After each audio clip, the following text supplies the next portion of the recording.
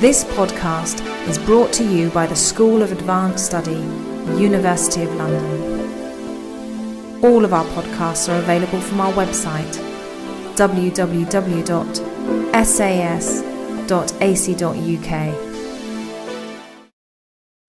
Thank you very much, Barry, and um, thank you uh, for coming to this third lecture, particularly after the catastrophe of the last one. Um, I have risked some more movies, but we'll see how they go. Um, and to Dr. Jan Chandara, thank you very much for, for coming. Uh, it, it is an extravagant uh, title, but it's meant to be a kind of rhetorical question rather than a statement. Uh, we um, are going through a phase of enormous optimism on the side of, of science, on the side of neuroscience, about its potential to explain things that were either thought to be beyond the possibility of analysis by science, or maybe even um, literally not appropriate for science to address. Issues like um, consciousness, um, intentionality, um, agency, self, and all of those um, grand issues that, that philosophers like to think about. There's no doubt that neuroscience is beating at the door of many of those, um, those areas. And what I want to do in this lecture is to review um, critically some of the methodologies that are used for the sorts of inferences that we've heard, all heard about, explaining brain functions, and then um, um, to try to readdress what the real challenges of um, neural explanations of understanding are. And let me put my position um, squarely on the table to begin with. Um, I'm a reductionist and a materialist. Um, I think that the brain does it all, um, perhaps in ways that are presently completely mysterious, but it does it all. And therefore, um, it, it is appropriate to ask scientific questions, or empirical questions about how it's done. I mean, it might be that there are questions of brain function as there might well be uh, other areas of natural function in the world that are simply beyond either the methodologies of science or the ability of human beings to un- understand what's going on, to understand the data that's delivered by science, to understand how to design appropriate experiments. And there are certainly some big issues which I'll talk about briefly in, in that respect. But the starting position for any scientist who any scientist who um, studies the brain and is interested in, in behavior must be that nothing's out of bounds. Uh, that the, the, the starting hypothesis is that everything can be explained until we come up to a, uh, a brick wall that's, that uh, either says you haven't got the methodologies to get any further, or there are things here that in principle are not explicable. There are strange phenomena which simply can't be addressed by your techniques. We just have to battle on a daily basis. If you sort of st- stopped in advance and uh, uh, and decided that there was territory you couldn't go into because you were likely not to be able to explain it or it wasn't appropriate, then you know how would you draw those those boundaries? How would you um, know um, the, about the validity of, of what you are currently doing? So the starting point has to be that it, it, it should, in principle, be possible to give an account of everything that we are as thinking, deciding, living, choosing, conscious beings in terms of um, our brain. Now, th- that might sound a very kind of um, new hypothesis, and lots of people, including Francis Crick, have made a living out of saying that it is new. Um, he wrote a book called The Astonishing Hypothesis, what, 15 years ago now, declaring that, you know, the brain's got to be responsible for all these high-level things, including consciousness and goodness. Isn't that astonishing as a hypothesis? Well, it wouldn't have been astonishing to Hippocrates, who said pretty much the, the same thing, nor indeed to um, uh, Galen, who um, founded, in a sense, uh, um, the, the study of biology uh, through his work um, dissecting um, bodies and brains. Um, and it was, um, I, I might have mentioned this before, it was out of Galen's work that this curious um, hypothesis that, that, uh, called the cell doctrine came to dominate for, for 1500 years, almost 1500 years, to dominate Western thought about brain function. And just to remind you briefly, the idea was, and Galen had observed the chambers inside the, uh, the brain filled with clear fluid, um, and great significance was attached to the discovery of a new fluid inside the body, given the um, domination still of Aristotelian ideas about um, body, bodily fluids and their, their balances. This new fluid was thought to be responsible essentially for mental functions. um, mental and physical functions of the brain. So the idea was that there, was, there were three cells loosely uh, correlated with the ventricular system of the brain, inside the brain, filled with this fluid that circulated through it, receiving information from the sense organs into the first of the cells, the fluid transmitted back into the middle cell where uh, cogitation, estimation, and rationality were supposed to happen, and then finally back into the last cell that was responsible in this picture for memory, but also in other similar diagrams for, for movement. And the point was about these descriptions that nothing was left out. There was no sense that there was something that was beyond bounds.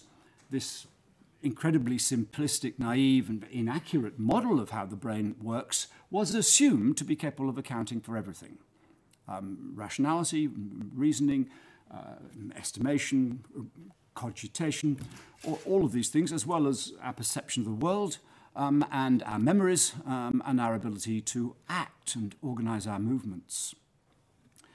Um, the qualification to this um, hypothesis uh, came, and I think I might have mentioned this before as well, through observations of, uh, of, of, Leonardo's um, at, the, at the, um, the end of the 15th century. Initially, and these are his first diagrams when he began his great anatomical project um, dissecting human bodies as well as animal bodies, basically to improve the quality of his painting. Um, he started to dissect brains at quite a, lo- a, late stage in his, in his work, and this was one of his early speculative diagrams before he had actually started to try to dissect um, brains. And you can see that he represents, although in a rather fuzzy, hazy, uncertain way, the three chambers in the classical form inside the head. The first one connected to the eyes, because the first one was supposed to receive the information from the senses. And here again, a speculative cross section of the head, a horizontal section, again throwing, showing these three imagined chambers. They're nothing like that in reality. Um, he began to dissect, and uh, uh, again, I think I might have uh, mentioned that he was uh, aided by the brilliant application of um, casting techniques, injecting hot wax into the ventricles of the brain of an ox, of a dead ox, before peeling off the tissue to reveal the, the structure, rather like casting a, a, statue in bronze. And this enabled him to see the true structure of the ventricles in more um, detail, more accurate, accurate, than anyone had ever shown before. And this is from uh, his diagram of the, uh, not of the human brain, of the ox uh, brain, um, around 1506.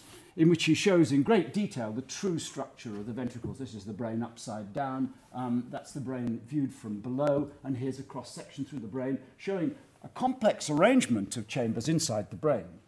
And he, um, as others had do, done and did in the future, identified the pair of what are called lateral ventricles that run through the hemispheres with the first cell of the classical structure, the middle ventricle, which we call the third ventricle in the middle of the brain here, as the second cell, um, and in the fourth ventricle down in the brainstem as the third cell. But what he noticed was that as he did the dissection was that the major nerves, particularly the optic nerves, um, didn't pass towards the first cell, the lateral um, ventricles, the sides of the head. They passed towards the middle of the brain, much closer to the, the third ventricle, the middle cell, the second cell. So he very courageously, but with, you know, with the, um, the eye of, uh, of the faith of observation, relabeled the figures and put um, uh, sensus communis, the common sense, on this middle chamber rather than on the, on the, um, the first um, pair of, uh, uh, of ventricles. So that was the beginning of the application of observation as well as just hypothesis and speculation as to how the brain might produce its functions, including mental functions. And there was really uh, no doubt until um, the time of Descartes that there might be anything else to explain that couldn't be explained in, in, physical, in physical terms.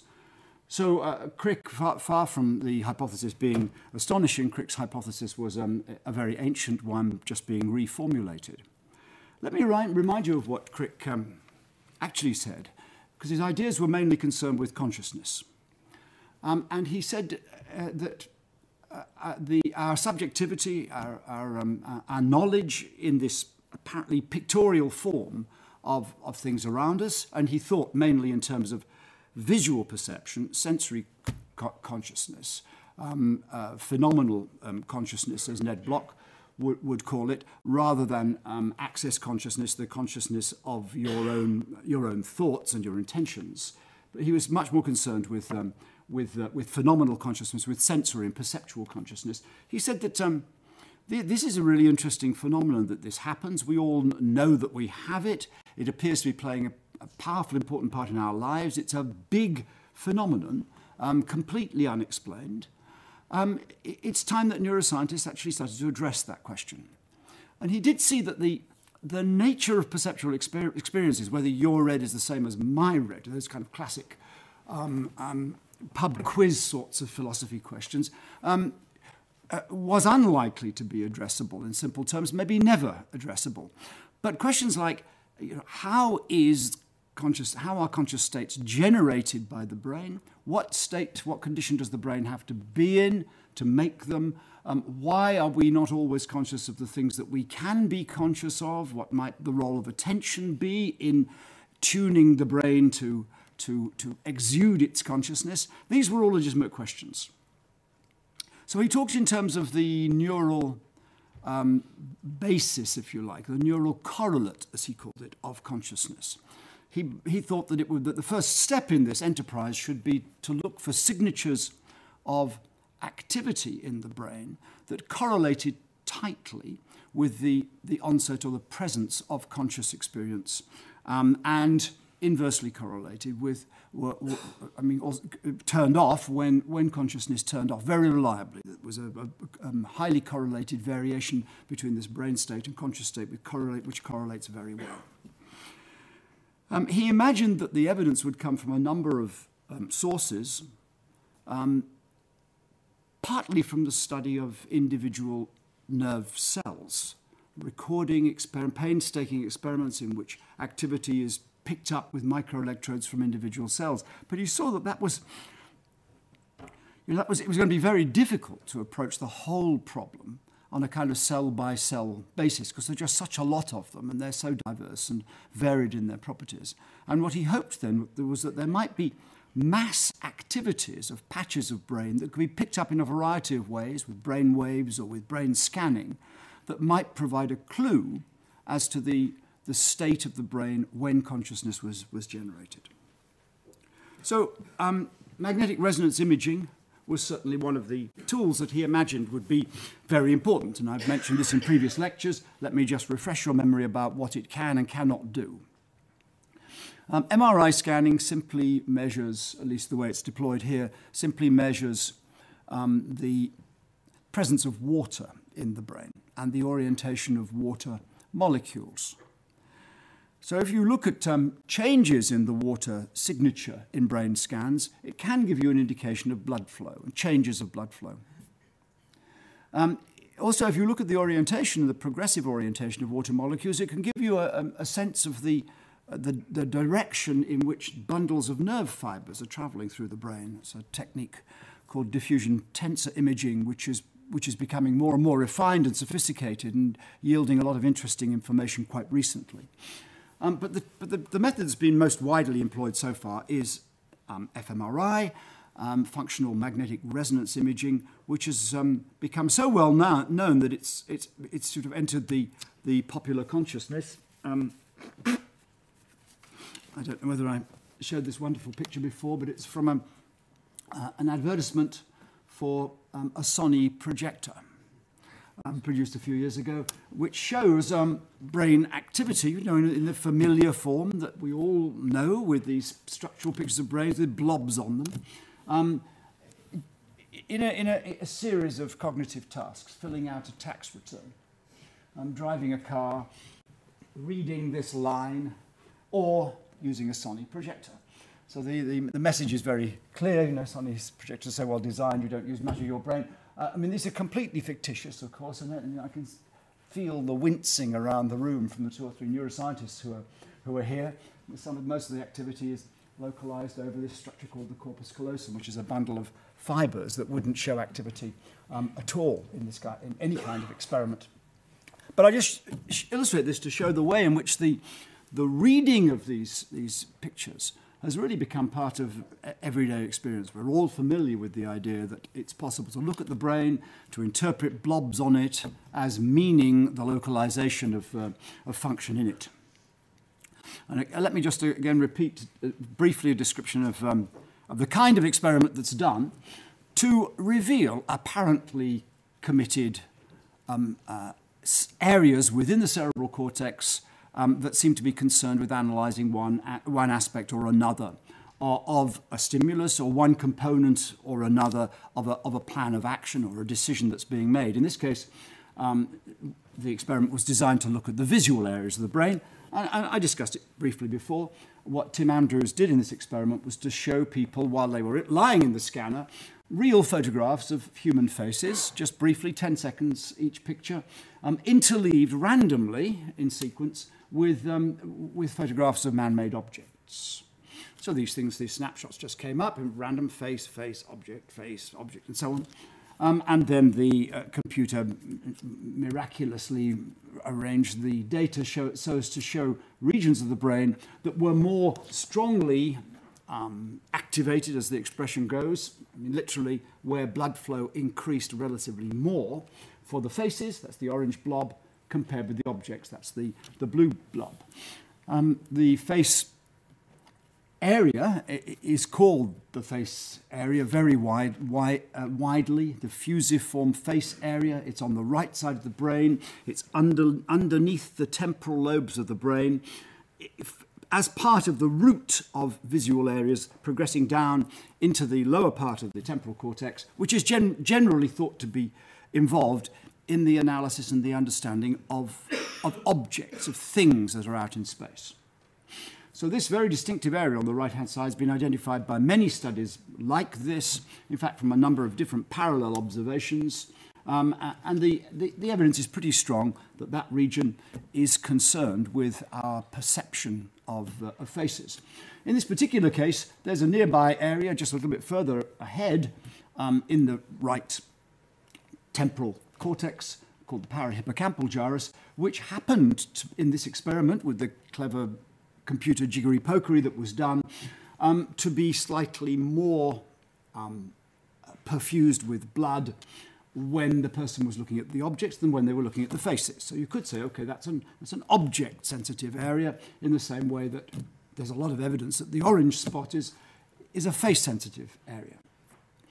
Well, I'll come back to whether one can draw that inference from this experiment um, in a moment. Let, let's imagine the sorts of things that might be possible if it turns out that you can read off from the pattern of MRI activity different patches of activity that correspond to the content of a person's perception, which in turn correlates in some way with, with what they're looking at.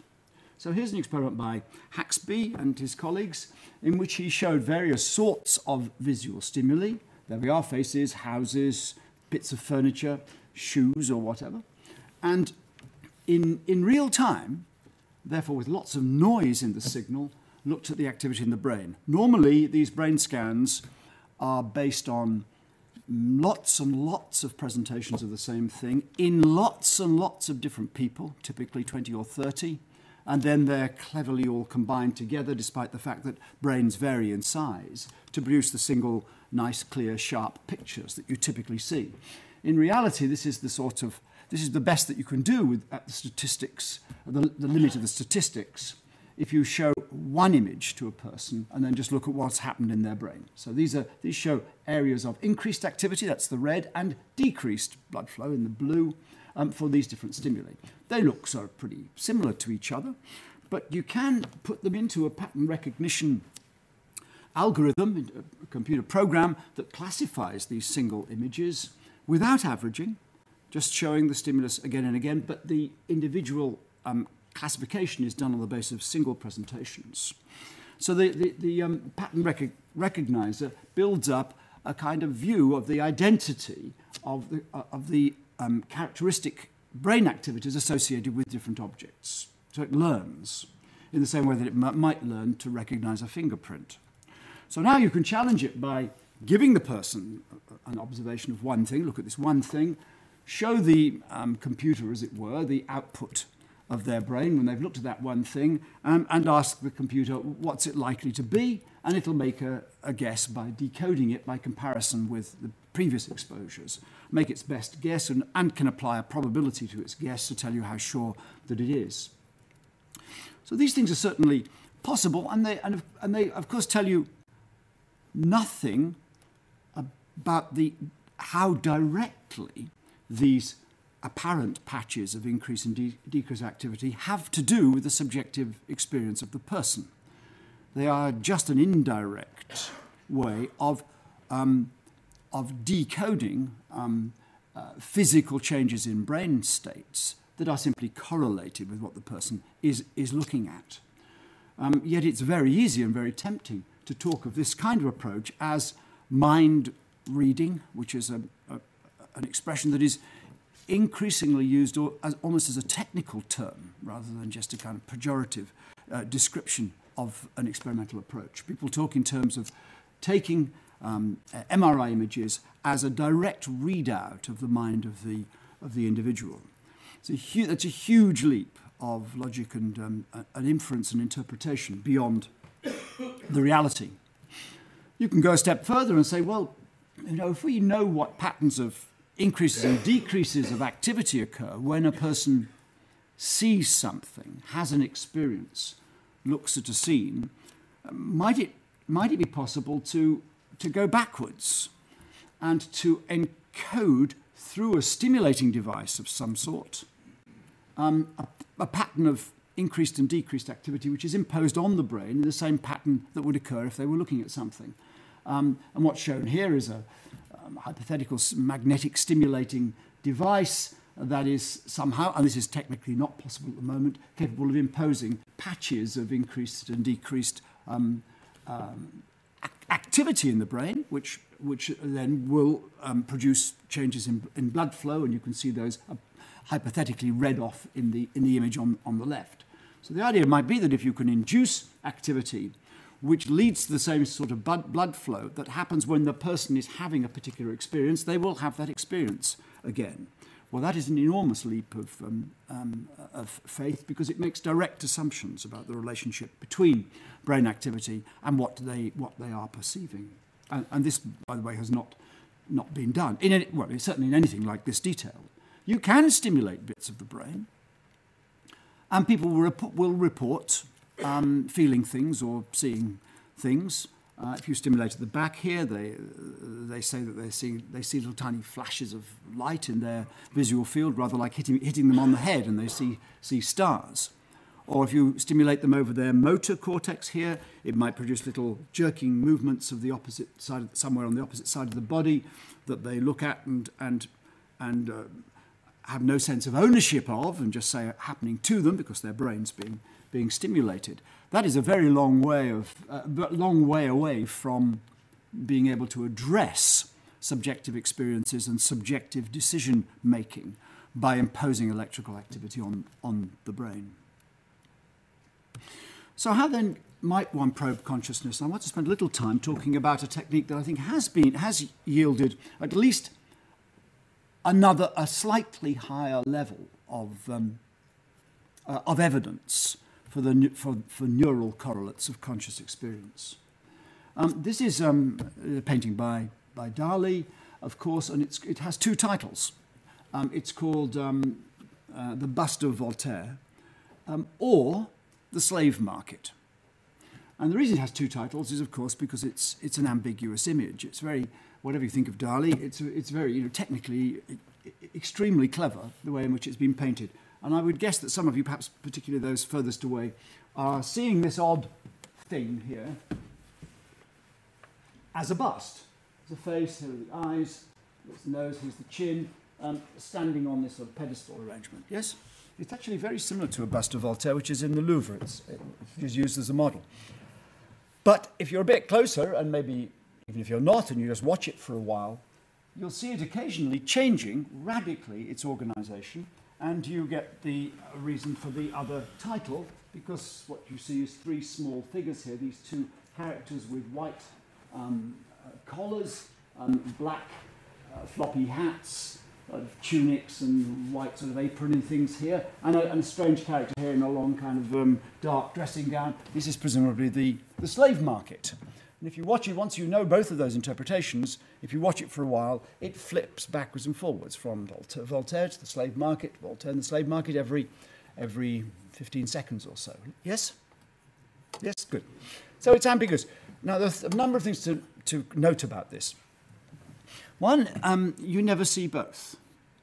And that's really quite um, interesting and important and suggests that there's some significant process going on in your, in your head that underpins it. Yes, there are two, two al- al- alternative interpretations. That's, that's fine. That's, that's understandable physically.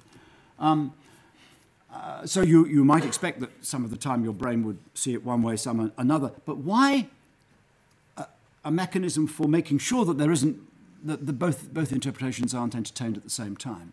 That implies that the brain is constantly searching to disambiguate what it sees. And in fact, um, the, the, any retinal image that you view um, is an infinite set of um, ambiguities. Uh, since the retinal image is a, is a two-dimensional projection, geometric projection of what is usually a three-dimensional scene, um, there is no way of reverse engineering from the image with absolute certainty what the object was that produced it. If, for instance, you look at something and it forms a circular image on your retina, a perfect circle, you could indeed be looking at a hoop or something like that, exactly circular, facing you and orthogonally, like this. Um, but equally, you could be looking at an, an oval ob- object tilted away from you, whose image projected in such a way that it produced a perfect circle on your retina. So you have no way of disambiguating reliably um, any retinal image in terms of its structure. We clearly tend to make assumptions, many of which must be based on our knowledge of the world and on, on our knowledge, for instance, that um, there are an awful lot of, uh, of, uh, of right angles in man made buildings, a lot of those assumptions are somehow projected onto our interpretation of the scene. So the brain is always, all the time, trying to look for the most plausible account of the information that it's receiving from the, from the sense organs. And this sort of trick image um, puts it into a position where it can't resolve that problem with a single most likely interpretation, and it flips between two, or sometimes even more than more than two. Okay, well, um, how one, how, how then? Oh, the other important thing to say about this is that the image itself, of course, is not changing. So if you could detect changes in the brain associated with changes of perceptual interpretation, that tells you something about the brain, not just about the external world. The picture, the, the Dali that you're looking at is always the same, your retinal image is always the same form, so these sudden changes of interpretation are happening in your mind and therefore presumably in your brain, which is making your, your mind. So that um, leads you to ask a question which can be quite, could be quite useful in interpreting the significance of this result. Uh, and that is to ask, what will these two areas of the brain do if the person looks at that pattern? Okay, this is the famous um, vase uh, face illusion, as it's, uh, uh, uh, as, it, as it's called, and you're all familiar with it, I'm sure. If you just stare in the middle of it, you see it either as a white chalice, a vase, or a pair of profile, black profile faces. And again, it, it flips every few seconds, yes, between appearing like faces or vases. Well, um, I don't have to point out to you in relation to this that, you know, a vase is an object and faces are faces. We can ask, what happens to those, to activity in those two areas, or blood flow in those two areas, when the person is looking at this pattern as it changes um, it, its interpretation from a vase to a face and vice versa. And that's exactly what Tim um, Andrews did in, in my lab a few years ago. He asked the people to press a button. Yes, it's just changed into a vase. Yes, it's just changed into a face. Um, and just asked the computer to focus on those patches um, and tell him how the activity in those areas changed immediately around the time of the button push. Now, there's a problem here because these responses are very slow. Changes in blood flow are slow, so unfortunately, you can't use this to um, ask a very interesting question about whether the acti- how far ahead of the impression of the change the changes in the brain occur. But you can ask questions about the reliability of activity in those areas or blood flow in those areas in relation to what the person's seeing. Well, here's a nice result with just three subjects. This was um, individual subject analysis rather than pooling. Um, these three subjects looking at activity in the so-called face area, and it just these this graphs plot the the, the mean um, blood flow activity in the period immediately following a reported shift from a vase to a face. Yes, it's just changed to a face, right? This is the average blood flow increase that occurs, as opposed to when the same person says it's just changed from a face to a vase, and it's less. And in every subject, there was a, um, a highly statistically significant difference between the blood flow. This, this area just increased its activity more at the time that the person said that they had now seen the face rather than when they saw um, the vase. Um, well, uh, he, by looking at the, the um, by focusing the computer's attention on that area alone, Andrews could predict with something like 85% reliability what the person was conscious of, whether they were conscious of a vase or, or a face. And I think that is a, at least a step further in the argument about the correlation of brain activity and con- conscious states and interpretive um, states. And the interesting point of the experiment was that there was no reliable change of activity in the object area, in this, in this area which apparently responded more strongly when the person looked at real objects. So that area um, did not have a significant difference in blood flow activity when it had just changed to a vase or compared with when it had just changed to a face. And I think that argues quite strongly that this area is not in the mainstream of neural processing that's associated with those, those changes of perception, with the perception of, um, of objects. And in fact, there's a lot of evidence, other evidence, that that region is not. It's actually more concerned with um, recognizing, and, recognizing and interpreting um, buildings and buildings in outdoor settings rather than man-made objects. Right, just pursue the argument. This is a nice experiment by um, uh, Geraint Rees, who's at the Institute of Cognitive Neuroscience in Queen Square. Quite similar uh, logic, but he exploited another form of ambiguity called uh, retinal rivalry. Um, most of the time, when we have both eyes open, um, we're looking at the same, the same scene through both eyes and are unaware that we have two eyes because we just see one scene. Um, but if you, if you just uh, touch the side of one eye, you can move that eye a little bit compared with the other, and you immediately see two images. You see double vision. Um, so the two eyes are actually analysing separately, and under appropriate conditions, you can stimulate each eye with different images. And that's what's done in this, um, in this experiment. The, the person wears uh, glasses which um, are arranged so that one eye can see one pattern and the other eye sees a different pattern. When you do that, interestingly, just like with the vase face illusion, you don't see both patterns together superimposed on top of each other, or very rarely.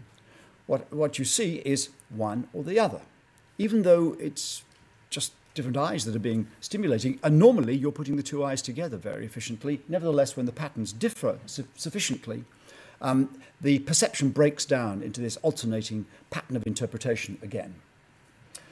So what uh, Geraint did was, uh, first of all, to, to perform a control experiment to try to identify bits of the visual parts of the brain, several different visual regions actually around the back here, um, which responded slightly more reliably to vertical lines, actually red vertical lines, um, compared with um, blue horizontal lines. So he showed people, and this is in both eyes now, red vertical lines, blue horizontal lines, red vertical lines, blue horizontal lines, and just said to the computer, show me regions which um, are more reliably activated by the red vertical lines or more reliably activated by the blue horizontal lines. And that's his picture. This is an imaginary flattened out view of the human brain for one subject with these different areas shown.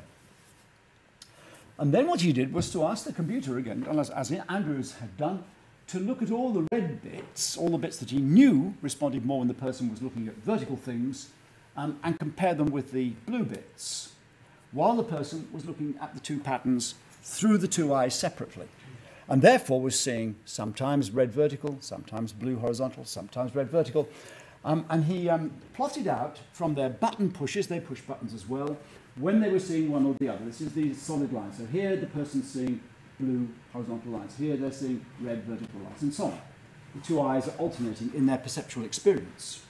The wiggly line behind it is the computer's prediction of what they're seeing, based on the relative, relative blood flow within all of those areas that were slightly more sensitive to vertical or to, to, to horizontal. And it does a reasonable job of predicting, again, with about 85% reliability at any one moment, predicting what the person is actually seeing. So I think this, uh, this sort of approach is encouraging.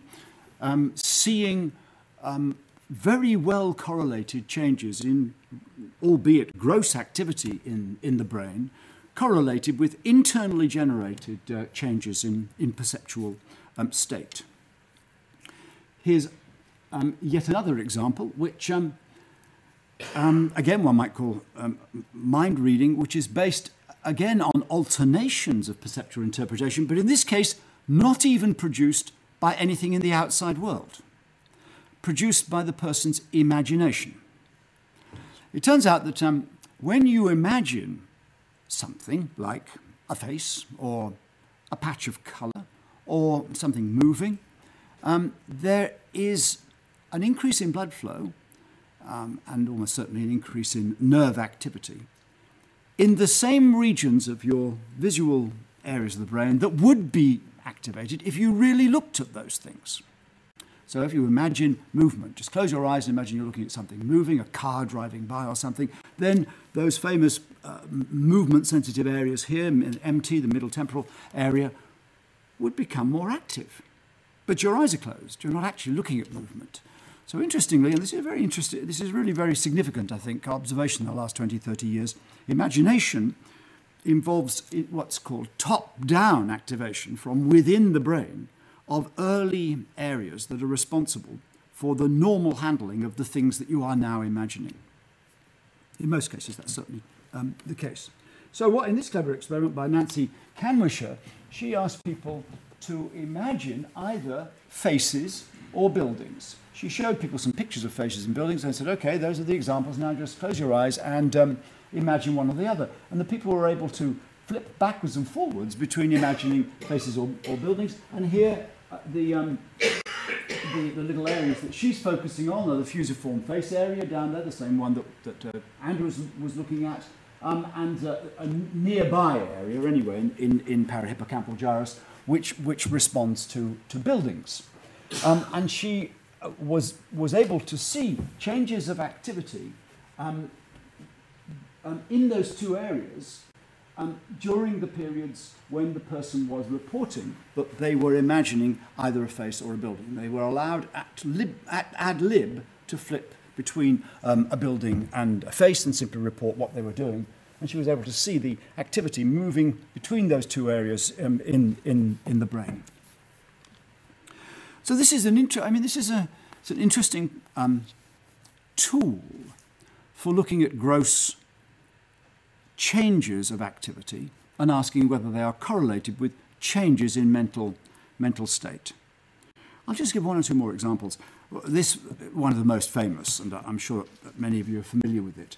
Uh, I'll just describe brief, briefly work also done at, um, um, at Queen Square. Um, and it was focused on studying the function of a favourite area of the brain called the hippocampus. Now, a lot of um, lines of evidence suggested that this little region, which is tucked down underneath your temporal lobes, well, it's not, not little, it's quite large, but hidden from view, this, this, this, this um, deep region, very evolutionarily very ancient, um, is concerned with, with um, encoding, storing, and retrieving certain sorts of memories. Um, in, uh, in rodents, for instance, in, in rats and mice, uh, it's almost certainly involved in, in spatial memory, in, in the memory that the mouse has of where it's been, where things are, where food is, and so on.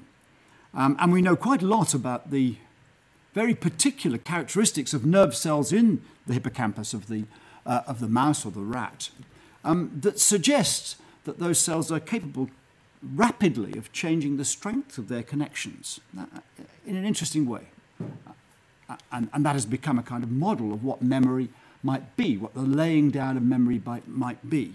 It might consist in um, very rapid changes in the, in the particular strengths of connections between um, nerve cells so as to, to lay down in, in the network some form of distributed representation that corresponds to, um, to the thing that was seen or the place that was, was visited. In human beings, there was profoundly convincing evidence that this region is involved in, in what's called episodic memory, the personal memories of experience, what you had for, for breakfast this, this morning, who that person is who's just walked into the, um, the room that you met last week or whatever, these sorts of personal experiences. Because when the hippocampus is selectively damaged, and it, and it can be by, by infections um, or by deprivation of oxygen during open heart surgery, it's not, it's, it's not ridiculously rare, unfortunately, uh, um, after that surgery the hippocampus is much more vulnerable than other, par- other parts of the brain to those sorts of things, and it is therefore um, the case that sometimes the hippocampus is selectively damaged, and in such people, um, there is a um, very disturbing, profound inability to form new memories, new personal memories. So, such people have their memories from the past they also have their other sorts of memory how to ride a bicycle, how to speak their own language. They can remember their family and events in the distant past, but they just can't form any new ones. So you, you, I'm, I'm, sure many of you have heard of this, um, this condition. Poor patients who have this, uh, who are in this state, uh, treat the doctors and the researchers who are visiting them every day as if they were strangers every day. Same person who's been visiting, you know, day after day, week after week for years walks into their room, says good morning, and they treat them as if they're a complete stranger. They don't know who they, who they are. I, I knew um, a man, a very talented musician, um, who Clive Wearing, who had this um, this condition for, uh, resulting from herpes simplex infection, um, and he played a game with himself. Um, and there are some sort of philosophical paradoxes in what people do in this condition because they sort of know that there's something wrong. Well, how do they know if they're not capable of forming new memories? So, how, do, how would they know that their present experience is, is odd? But he, he played a game with himself of holding a biscuit or a chocolate in his hand and looking at it and then closing his hand for 15 seconds or so and then reopening it. And to him, this was a magic trick because when he closed his hand, the chocolate disappeared because he was no longer aware that it had ever been a chocolate. Um, when he opened his hand, there was a chocolate there that he didn't know about, so it was just as good as a magic trick. But if you, if you think about that, it's very odd because you know he knew that he wanted to do this, so he must have known something about the whole cognitive um, context in which he was exploring his own particular memory uh, deficiencies. But, but certainly the, the loss is profound, and people with this condition are totally incapable of conducting anything like a normal life. Okay, so you would expect to be able to see, it's a long preamble for the experiment that was done at Queen Square, you'd expect to be able to see strong activity in this particular part of the brain when people were laying down or retrieving um, uh, memories of that, of that sort, personal memories. Um, so they thought, the group that did this thought very hard about how they might identify um, a group of individuals who had a particularly rich repertoire of personal memories. And they chose London taxi drivers because you know that taxi drivers have to go through this, this long training, typically two years of training, in which they drive around on a moped in London with their A to Z, learning all the streets. And then they have this pretty daunting examination in which they have to very quickly to give their best route to any particular street that's named um, um, to them. So they're you know, pouring huge amounts of spatial information into their brains. Um, what, the, um, what the experimenters had already shown was that if they asked um, normal people to um, remember a particular spatial task, and they used a kind of video game to do that, they indeed saw increased blood flow in the hippocampus on one side, on the right side. Left side is probably more concerned with language, with remembering words, individual words, remember what's said to you. So they then asked the bold question well, if you do an awful lot of remembering, is your hippocampus changed in any way? And um, they produced this uh, amazing picture. This is um, not a functional MRI image, it's not a view of blood flow or activity. It's a, it's a summary of statistical differences in the sizes of bits of the brain in taxi drivers compared with normal people.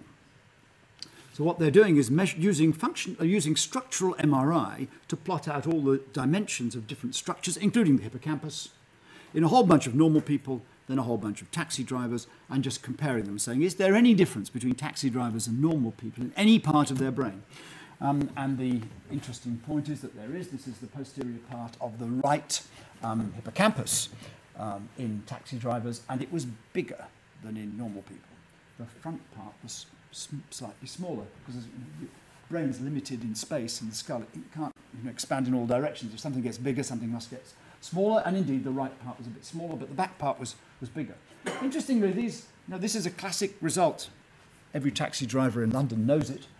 Um, um, what tends to get forgotten, every, you know, it's iconic. Hippocampus grows. I mean, it does literally get bigger if you do an awful lot of learning. Uh, what, what's often ignored is the fact that there are bits in other parts of the brain, this is the cerebellum back there, which are also different in size, which is, which is odd because the cerebellum is not supposed to be involved, certainly in private ep- episodic uh, memories.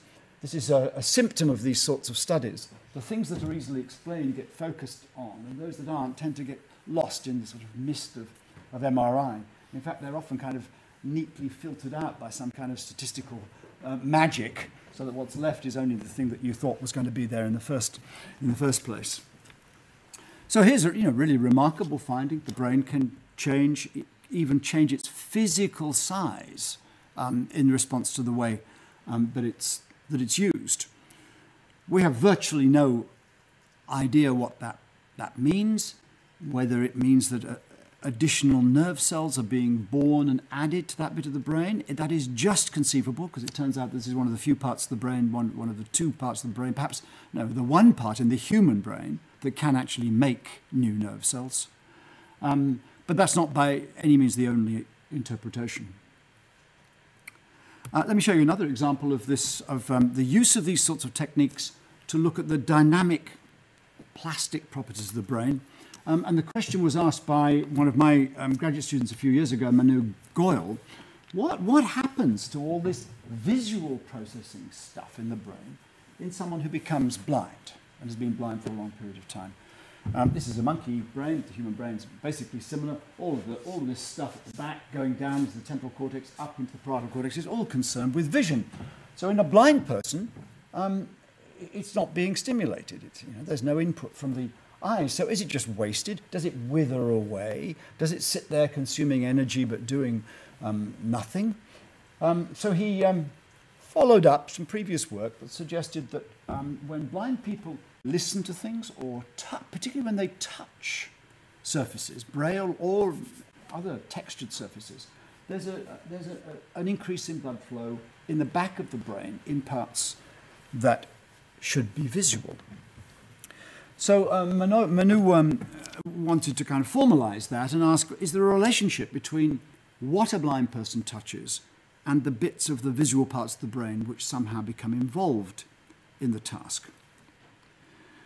But he, he um, preceded that question with, a, with um, another interesting one, which was to ask whether blind people, and these are all his subjects have been blind for 20 years, all of them had had some vision when they were young for a few years, but they'd all been blind for 20 years or more. He said, well, um, do, do blind people re- re- retain the ability to imagine vision? Well, certainly, if you speak to a blind person who had vision when they were young, then anecdotally, they will say that they do and watching the body language of the facial expressions of a, of a blind person when you ask them to imagine something, it's quite clear that something pretty impressive is going on in their subjectivity. They're quite you know, startled by the, the images that they say they're conjuring up for themselves. So, an obvious question is does that relate in any way to things that we can see in, in the brain? Because, I mean, again, that would be interesting. His self generated perceptual experience in a person who has not had real visual stimulation for years and years and years, is it related in some way to what we know of the organization of the visual parts of the brain? And, and it is. What he did was to put blind people into, and sighted people and congenitally blind people who'd never had vision into the scanner and asked them to imagine a little scenario which they practiced. To begin with, they were uh, asked to imagine that they were sitting in a room looking at a patterned set of curtains that were closed over a window, just stationary. Detailed patterns and textures all over them. They could make up whatever they wanted them to be. Uh, for 10 seconds. And they were signaled, the changes were signaled to them by a little tap on one toe. In these sorts of experiments, be very careful how you give instruction, what else you do to the person when they're in the scanner, because anything you do will cause activity in the brain. So you've always got to kind of subtract that out, and you want minimum interference from other things. So you can't yell at them, think of the curtains, because that'll produce masses of activity, language area of the brain, and so on. So a little tiny discrete tap on the toe to signal that they should switch from the, the static curtains to imagining that the curtains are opening and closing for 10 seconds. And then finally, final 10 seconds, the curtains open and there's a face staring in the window at them. And they do that for 10 seconds. And the, repeat that, those blocks of imagined static patterns, moving patterns, face. And you can now, by subtract, subtracting the brain signals in those three conditions, you can ask, is there any part of the brain that is active when the person's imagining movement specifically, imagining visual movement or imagining a face? And there is. So in both uh, sighted people and in people with late onset blindness, you get enormous activity, actually more um, on average in the late onset blind. In this region at the side of the head, that's MT, the famous motion sensitive, the visual motion, motion sensitive area. And again here, activity in the lower down, the fusiform gyrus on the right side, fusiform face area when they're imagining faces. You see nothing um, specific in congenitally blind. They're not able to do the task. They don't know what you mean when you say, imagine that you're looking at some, something, not surprisingly. So that's interesting the organization of the brain is still sufficiently solidly organized that they can top down, whatever that means, from within their brain, turn on these areas and have the visual experiences that would normally be associated with their activity. So he then, Manu then extended the experiment in this interesting way. Um, he wanted to know whether, when blind people touch things, there might, might be activity in, in corresponding parts of the visual cortex that would not normally be active in a sighted person.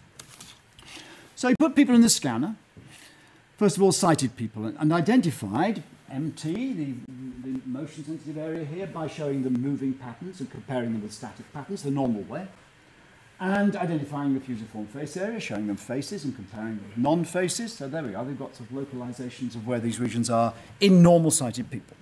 He then blindfolded those people and compared them with blind people, late onset blind people. And now no one's looking at anything, they're all blindfolded or blind.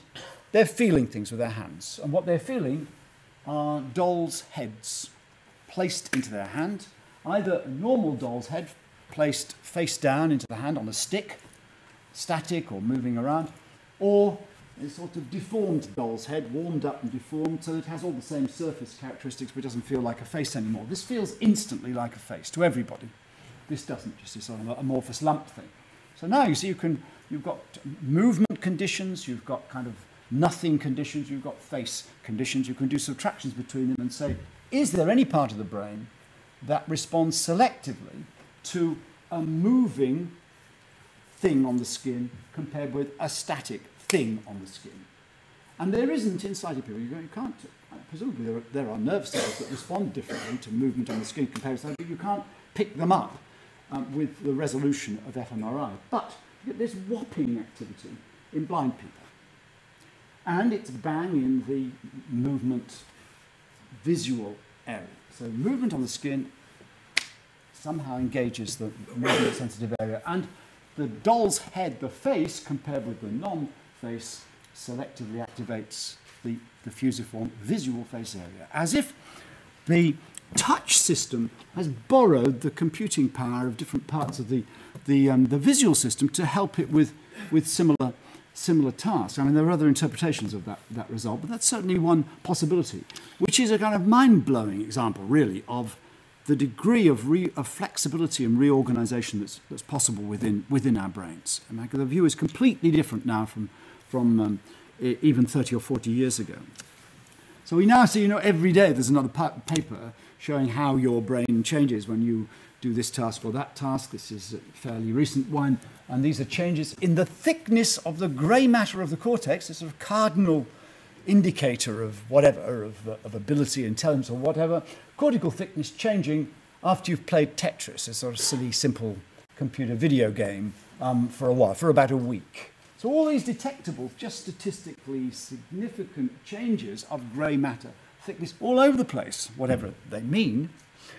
So, um, you know, in terms of brain function, who knows what this is, um, this is for, whether it's um, entirely epiphenomenal or when it, any part of this, as it were, represents significant changes that are necessary for the changes in behavior. These people get better, of course, at this task while they're doing it.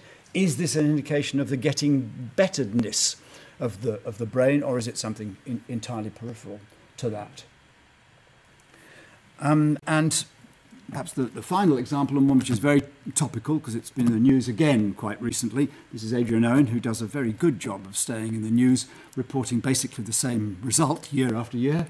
Um, he, he was uh, at the MRC Brain and Cognition Unit in, in, uh, in Cambridge. And I'm not, I'm not, you know, I'm not disparaging him. He's, he's, he's a very good researcher, and, and it is a wonderful observation, a great story worth telling again and again.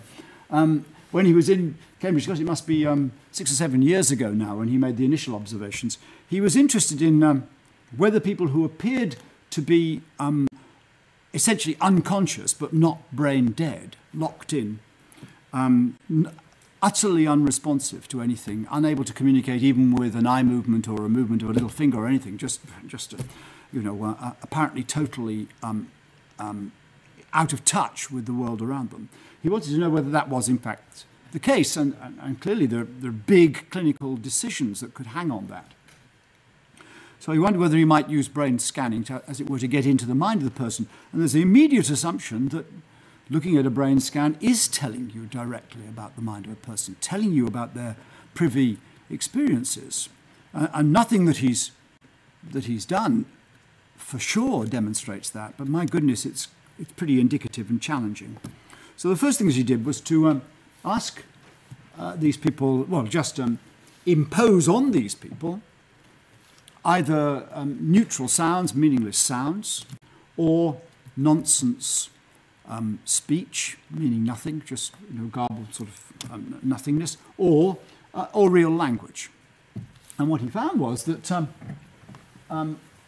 that when he spoke to these people in sentences, saying anything, the um, parts of the brain were activated here, back in Wernicke's area and, and Broca's area, and further forward in the frontal cortex, that implied that they were actually understanding the language. Uh, and this only happened in some of the patients. In others, in about three quarters of them, there was a little bit of activity, but it was purely in the auditory reception area of the cortex, as if they're hearing the sounds, but there's no difference in the response of their brain to sounds compared with language. So this does is indicative that at least the network is still active that would normally be engaged when they're, uh, when they're listening to, to words. And this is, this is by comparison, by the way, with, with normal people who are not um, in this state. So very similar patterns of ac- activity. So he then went the next, um, the next step, and this is now the, you know, the surprising and uh, well-known result of asking, asking them, lying there, completely unconscious apparently, to imagine that they were doing things. Um, knowing that imagination can cause activation in, in, in the brain. So he gave them two imagination tasks either imagining that you're walking around your own house, just, you know, you there, unconscious person, imagine you're walking around your house and then scanning their brain. Or imagine that you're playing tennis, rather cruel trick, really, on someone who's lying apparently completely comatose. But there we are, these are the two conditions which um, in normal control people, these are normal people, produce very distinctive and different sets of brain activity. I won't go into detail about the areas, but they sort of make sense in terms of what we know of brain function. The, um, you know, the spooky thing is that in about a fifth or so of his patients, the patterns of brain activity produced by imagining tennis and imagining walking around your house were very similar in the patients and in the control um, subjects. Again, the inference being that they, you know, they, they, they knew they were following the instructions. And he went on uh, uh asking whether this was just, again, some sort of epiphenomenal thing that had nothing to do with any kind of decision making or knowledge inside the person. Went on to ask them questions about themselves, just factual questions. You know, is your is your father's name Smith or something like that, no, where he knew the answer, and asked them if the answer is yes, um, play tennis in your mind. Uh, if the answer is no, walk around your house. And, and the results were reliable. Um, and the, uh, the recent development that you will have heard about, I'm sure, just a few weeks ago was um, the extension with a lot of consultation of the ethicist before doing it, asking, starting to ask patients about their their, their, their, um, their emotional states, um, whether they're in pain, and presumably, eventually, at some point, someone will ask, you know, are you happy to continue living in this state? Would you rather die? That will be a real dilemma when that's done, and it will be done. Um, because if the person, you know, plays tennis in their head to say that they want to die, um, I mean, how confident can we be of that? uh, as a true indication of the wishes and the will of the person that we believe to be trapped in that, in that head? Is it fundamentally any different from believing what they say? Because after what they say is only kind of behavioral response which is produced by their tongue, which is being activated by their, their brain. Is what they say a more direct re- uh, link to what they, they, they really, really want to themselves? Um, is it a more direct link? than the imagining playing tennis, which might be their answer to the question when they can't do anything else. So we're seeing um, you know, headlines like this. This is in, in Canada. The work's now uh, Adrian's in Canada, so there are already test cases in Canada asking him, as it were, to do his magic for locked-in people to, um, to find whether they're, um, A, conscious, as it were, if, if this is an indication of consciousness, and what they want. Well, this is all, uh, you know, uh, this, I've tried to unpack with some qualifications the use of brain imaging to interpret the relationship between activity in the brain and states of mind. The real question is how far can that, that go? Um, and I want to, without any, and, and, and, uh, without any suggestion that um, I'm making a personal judgment about where you draw the line, um, point to a couple of studies, again, very local, done at University College, um, which are testing, as it were, the boundaries of interpretation of, of these sorts of experiments. So this is the work of uh, Semir Zeki, whom I know very well, and I enormously admire his, his work, including this, I think it's very interesting, in which he's um, you know, bold enough to say, you know, forget about dots moving on a screen or flashing lights or, or whatever, or moving fingers. What about something that really matters to people? Can we see anything in our brains that corresponds to something as, as deeply personal as being in love? Um, so he, in this famous experiment, showed people, um, University College undergraduates, I think, um, series of photographs of, of other people, including occasional photographs of their girlfriend or boyfriend, and asked whether there was anything distinctive about the reaction of their brain to their girlfriend or boyfriend, and then interpreted that in terms of, as it were, areas of the brain devoted to love, love centers. The phrenologists would have, would have liked it. Um, I mean, to my mind, the only thing that makes this legitimate, and it, and it does because of, of what, it, what it is, the thing that makes it legitimate is that the areas identified actually correlated rather well with what was known about path, pathways involved in hormone secretion um, for hormones that are known to be involved in, in things like pair bonding in other animals, in the extent of pair bonding in other animals. So it's sort of two, two routes of argument led to the conclusion that maybe some of these regions are particularly active when a, when a person says that they're in love. He did point out that um, there are also regions, by the way, that are very much less active when people see photographs of, of their loved ones and they correspond almost entirely to regions of the brain that are concerned with high level discrimination, with trust, with judgment, of reliability, and all of those. Those are just suspended, apparently, which is as, as much a, an indication of love as the positive activity, as deeper parts of the brain that seem to be involved in, you know, squirting oxytocin out or something. Um, and, and, and, finally, um, another example from Geraint Riesen, I described that beautiful experiment with the with uh, binocular rivalry, but um, perhaps this was going just a bit too far. It was, a, it was somewhat jokey because it was done um, in response to a challenge from Colin Firth um, when he was guest editor of the Today programme, and, and, and he happens to be interested in all this brain stuff, so he um, managed to persuade uh, Geraint to do to do this experiment. And the, the authors are, apart from Kanai, who I presume is a, is a postdoc in the lab, and, and Geraint, who's the head of the Institute of Cognitive Neurosciences. The other two are Tom Feilden, who's the um, science editor of the Today programme, and Colin, Colin Firth, the actor. Um, and what they're interested in is whether there's any part of the brain which is different in, in conservative voters and Labour voters. Um, and they looked at the sizes of the brain. This isn't, this isn't activity, this is just relative size using this voxel-based morphometry technique. And indeed, there they are, identifying two um, areas which, which differ with self-rating of liberal to conservative tendencies along here, different categories, um, from a questionnaire. And lo and behold, there are tiny, tiny differences in grey matter volume, apparently consistently related, although the statisticians here will be pretty dubious about that um, in, in these two regions. And they suggest, well, isn't that interesting then? Could it be, or no, could it be Gil Gilbert and Sullivan in, in reality? Um, you know, what is it? A little conservative, or someone will know the, the phrase.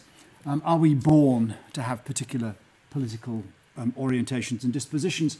Um, the, the problem with this, it's, not, it's sort of fun. The problem is it does use resources. These, these things are expensive. And B, the potential, you have to think always what is the potential for the way in which these results will be interpreted and conceivably used by others. Um, the, um, you know, I would say that the work on communicating with people in locked in um, syndrome is at the edges of what can be dealt with by um, by society, that it demands for its employment and use much more widely than is justified by the type of um, evidence is already very strong. Um, I'll give you another example. Um, there's a company called No Lie MRI in California that is marketing um, MRI-based tests, lie detector tests. Um, they, this evidence has not been accepted in anywhere except India. It was involved, it was used in a case um, and led to the conviction of a woman for murder in, uh, in uh, India, even though um, the scientific advice that the court took all um, uh, advised them not, not to base their judgment on this, or certainly not on this alone. Um, and what it does is to identify areas of brain activity that seem to be more active when people are telling the truth and not telling the truth. It is no more reliable than a conventional um, lie detector, which means around 80%. It is subject to known methods for, for um, fooling um, the, uh, the, the, test. Um, but, you know, there's a commercial market um, out there. And this, this sort of apparent application of the beautiful technology, the marvelous machines, how can they get it wrong? Um, well, machines can, can be no more reliable in any particular task than the design of the procedure and the analysis and the assumptions on which the tests are based. So finally, just before finishing with the counter example, um, a little cutting that I found on a blog just, just the other day, showing how um, at least some people have still got tongue in cheek in, uh, in thinking about these, uh, these, these methods. I just want to finish by reminding you um, that the brain is not red and yellow blobs, that the brain is an awful lot, an enormous number of nerve cells. And the title of my series is, is Neurons and Knowledge. Ultimately, if we are to give explanations of what we know of the world and how we plan our actions, how we behave, how we make choices, then it has to be in terms of, um, of uh, the nerve cells that our brains are made of and how their activity, their impulses, transmitting through networks, convey and represent states of mind, um, states of awareness, uh, decisions, consciousness, uh, um, intentions, plans, and, and actions. And I'll just show an example of how an alternative approach, which is in some ways much, much more difficult than fMRI, um, could conceivably lead us closer, at least, to that goal of real explanations of brain function in terms of, uh, of personal experience, much more than blobs on an MRI scan. I just want to remind you, if you'll remember this, there, there's a, if you look at static patterns, you get activation in the back of the brain. If you look at moving patterns, you get this MT area strongly activated. So you might say that MT is, is the region of personal knowledge of movement of things in the world. When you imagine movement, that turns on. Um, I showed you last time that, at least I tried to if the movies had worked, that um, this area is capable, apparently, of making the distinction between movements that really happen out there in space and movements that are produced by you moving your eyes around. It can do that little calculation. Its activity seems to be correlated with what you really see. But remember that the area is not just a blob. It's packed with hundreds of thousands of neurons, those individual nerve cells connected by you know, thousands of connections, uh, 10 10 to the 5 connections on average each, 10 to the 15 connections in the whole brain. It's at that level that we really have to explain things. Now, it turns out that there is an approach that, that can be used. Uh, it's difficult from every perspective. It's very expensive, it's technically demanding, it's ethically um, complex. And that is to record activity from individual nerve cells in animals while they're awake, making judgments and decisions and telling you what those are. Um, and the only species really that, that, that, makes sense for this sort of experiment is, is a species that's close to us because we want to know about ourselves and how we make decisions. That means monkeys. So this is research, um, and it's happening around the world, but on a small scale, largely because of the cost and the technical difficulties, which involves um, training monkeys to make complex decisions to report their judgments about what they're doing by pressing buttons or levers, and at the same time recording with microelectrodes inside, implanted into their, their heads, recording activity from single, nerve cells. Uh, some people would simply draw the line and say it wouldn't matter how valuable the results were. You know, I'm not willing to accept that that's, that's justified. Well, um, that's difficult, and everyone, of course, is entitled to an opinion, and, and we have, in the end, to fall back on regulations and the law to express, as it were, um, a democratically arrived at decision about whether such research should be done. But certainly, in terms of its potential to provide real descriptions of how the brain works, it is incomparably superior to red blobs on a, on a brain scan. So it turns out when you record from nerve cells in that area, in the um, MT area, in a monkey, while it's looking at moving patterns, each individual nerve cell responds when a pattern moves in a particular direction. Some cells respond one way, some another, and so on. They're all arranged beautifully. Every single nerve cell, pretty much, responds to movement in, in one direction. They're never interested in colour. Na- a neighbouring area is interested in colour. So, um, can we make a comparison between the responses of those cells and what the monkey tells you that it's seeing by the buttons that it pushes? And this is um, work that's been done partly in Oxford by Andrew Parker and his colleagues, partly um, in the United States, particularly by Bill Newsome at Stanford, the, perhaps the leading researcher in this area. And if I'm going to be very lucky with my movies this week, yes, this is going to show, show you the kind of stimulus that um, has been used for quite a lot of this work. This is a pattern of dots. It's on a flat surface, yes? Um, Okay, that's telling me I'm going to have to stop in a minute anyway, right? Uh, what I would posit is that some of you are see, see, you're seeing this as a cylinder of dots, which is either moving. Um, is supposed to loop, but uh, we, we all know that my movies don't work. But it's either moving that way, as it were, anti-clockwise views from above, or the other way, clockwise. Right. Now you can show that same picture to a monkey and ask the monkey whether it's seeing it going clockwise or anti-clockwise, and it'll press a button saying, oh, it's going clockwise, and then it'll press a button saying, oh, it's going anti-clockwise. You can also record from the cells in, in, the, in MT, and what you find is that the cells will, the different cells respond to different directions of movement, and in this sort of situation, they have a tendency to respond to whatever dots appear to be in front. and they ignore the ones behind. So if the animal is seeing the pattern as moving in that direction, okay, clockwise viewed from above, then a nerve cell that responds preferentially to movements in that direction will respond. If they see it the other way, it'll stop responding. Um, and this beautiful work done by Andrew Parker, compared directly the responses of neurons and the response of the monkey while the neuron was being recorded simultaneously.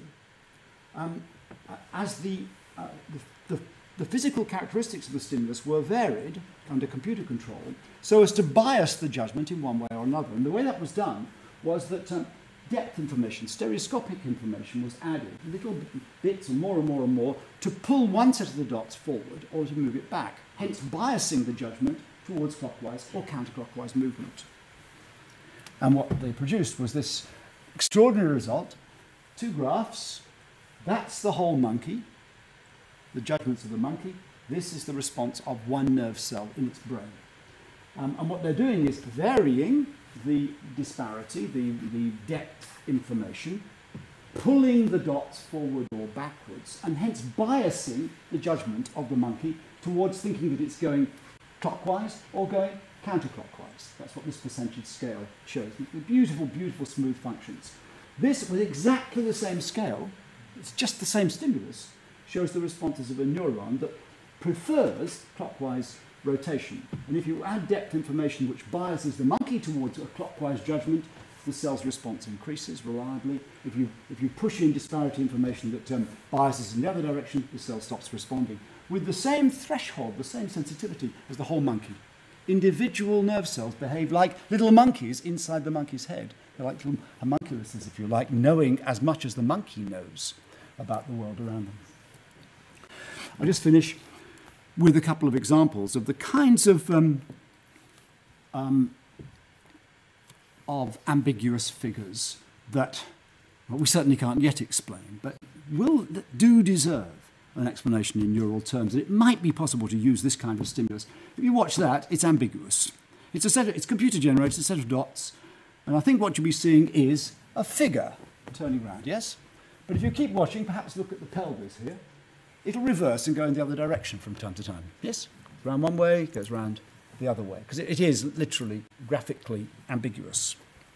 Now, this very nice other example of the same thing.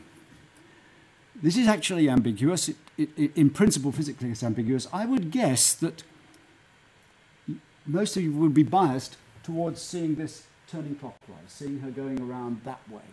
Yeah, that, that is the, the some, some not, some might be going the other way, but mostly, um, and that's a postural um, thing which imposes a, a, little bit of non ambiguity on the image.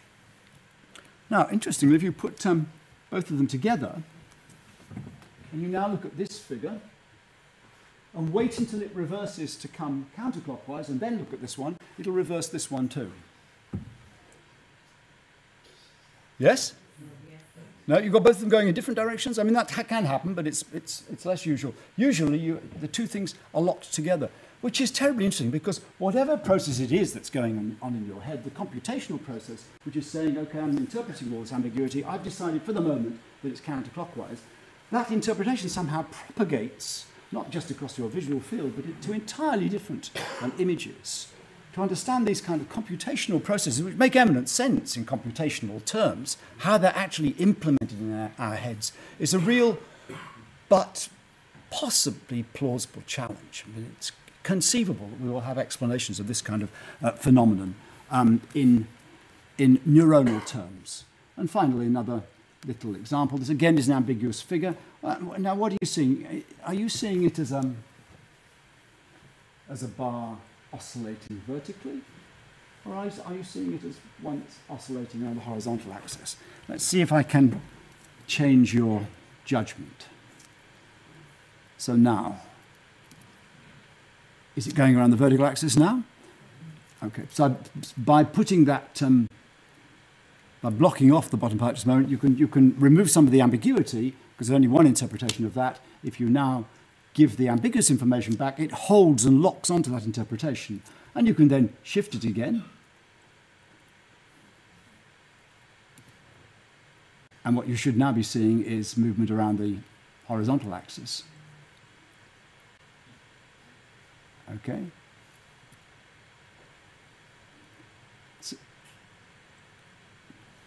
Uh, at least some of you getting that? So your, your judgment can be biased by nibbling away at the ambiguity and then removing, the, restoring the ambiguity again, the, the interpretation that's been imposed by a reduction, by a change in the probabilities of the two interpretations, persists after the image is restored to its originally ambiguous state. So I just want to finish by saying um, uh, that I hope that I've given you some sense of the dynamism and the potential of brain research, that I've qualified some of the hype, as it were, around this, this subject um, because of technical limit, limitations and difficulties in, of interpretation. Not just some of the statistical qualifications about what images really mean and how big the blobs really are, but about the logic in interpreting apparent changes in brain states to um, differences in, in mental experience. Um, I've made a case for ultimate descriptions of brain function necessarily having to be in terms of, of nerve cells, of what neurons really do, because they are the currency of how the brain operates in the, in the end. The brain does not work by generating red blobs. It works by producing impulses in neurons and transmitting them to other neurons. So our descriptions in the end have to be in that form, even if some of them will only be models, because we won't be capable of uh, analyzing everything at the neuronal level. For instance, we could never gain an understanding of language, or it's very, very unlikely that way because you know only people, only human beings do it. So we might have to rely purely on models derived by analogy with other similar computational pro, um, processes in our own in our own brains. So it's a mixed message, but one which is, I think, on balance, very positive and very exciting. But it's one that leads to um, the conclusion that um, the rigor of thinking from, um, from the humanities, I mean, particularly from philosophy, becomes more and more important in constraining the interpretations that, that are put on results of, uh, of studies of how the brain works. And it's very easy to leap, leap to naive interpretations because of the elegance of the methodology. We need a little bit of philosophical constraint. And right on cue, my computer's run out of power, and, uh, and so have I.